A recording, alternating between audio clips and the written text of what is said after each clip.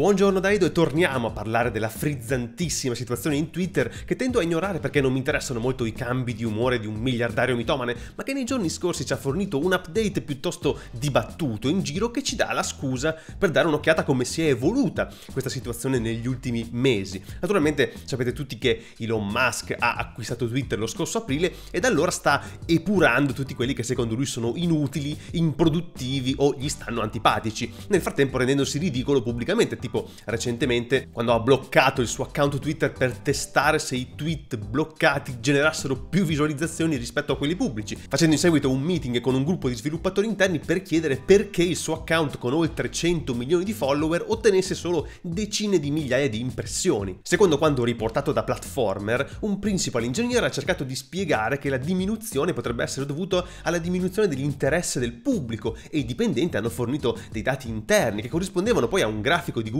Trends, ma questo non sembra aver soddisfatto il nostro, in cui immediato risponso è stato quello di licenziare lo sviluppatore che aveva suggerito che le persone siano sempre meno interessate a seguire tutti i movimenti di Musk online. Emotional, damn it! Questo episodio è solo l'ultimo dei tanti che fanno pensare che i dipendenti di Twitter lavorino in uno stato di caos continuo sotto lo sguardo attento del nostro. Inoltre, secondo Fast Company, la piattaforma sta diventando sempre più instabile, il che potrebbe portare a un ulteriore calo delle entrate. Il dramma principale per colui che ha speso 44 miliardi di dollari per comprarselo. Peraltro, quanti ingegneri ha buttato in mare il nostro da quando ha preso il comando della nave? Secondo un report di CNBC, fonti interne riportano che finora è stato tagliato l'80% del personale e il totale dei dipendenti si aggira intorno alle 1300 unità, con meno di 550 sviluppatori full time che devono occuparsi del mantenimento del software, dell'infrastruttura e di aggiungere le nuove feature richieste dal grande capo. Anche se comunque lui ha chiamato poi in soccorso una squadra di fedelissimi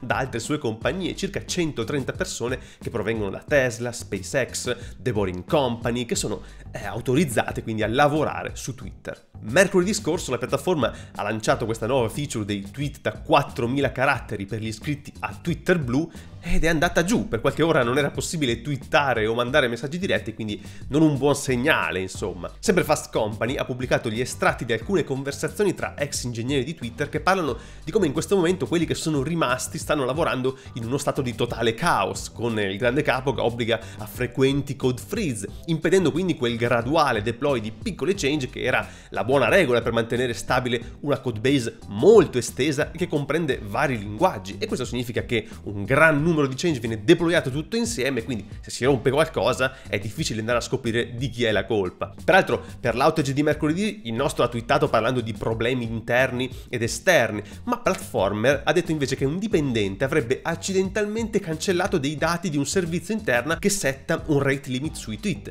che sembrerebbe essere il motivo per cui gli utenti non potevano più twittare. Inoltre, sempre secondo Platformer, la Federal Trade Commission sta pianificando di effettuare un audit su Twitter questo trimestre. Sapete che Twitter è sorvegliato speciale del governo federale e soggetto a periodici assessment su security e privacy. Non si sa se allo stato attuale Twitter sia in grado di superare questi audit e nemmeno se Musk ci voglia davvero provare. E questo era tutto per l'aggiornamento sulle condizioni di Twitter in balia della tempesta e dei capitani coraggiosi. Grazie per avermi seguito e domani c'è Continuous Delivery e quindi basta. Buona settimana. Ciao.